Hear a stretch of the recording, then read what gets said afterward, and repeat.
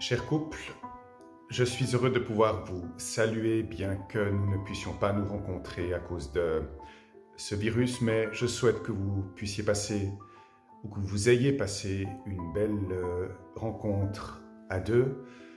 Euh, vous serez les premiers bénéficiaires, bien sûr, de cette rencontre, ce qui va renforcer votre lien. Mais si vous avez des enfants, vous savez que ce dont ils sont le plus bénéficiaires, c'est de tout ce que vous investirez entre vous. Et donc ce que vous faites là euh, va déborder au-delà de vous, auprès de vos enfants et, de votre entourage, de vos proches. Donc euh, cette expérience que vous allez vivre ou que vous avez déjà vécue peut-être en regardant cette vidéo euh, à deux, n'hésitez pas à la reproduire régulièrement. C'est important de pouvoir non seulement échanger, mais vivre quelque chose qui est de euh, mettre son projet de vie à deux sous le regard de Dieu, en se disant ou en posant la question, là où nous en sommes, qu'est-ce que nous sommes appelés à vivre? Qu'est-ce que nous sommes appelés à faire pour nous adapter aux circonstances? Quelle est la volonté de Dieu sur nous?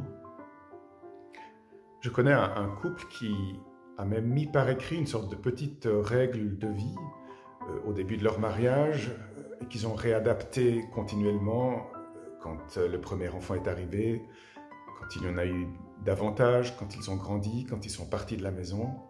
chaque fois, ils se sont posé cette question, qu'est-ce que nous sommes appelés à vivre à cette étape de notre vie? Qu'est-ce que Dieu nous invite à vivre? Et ça les a stimulés pendant toute leur vie.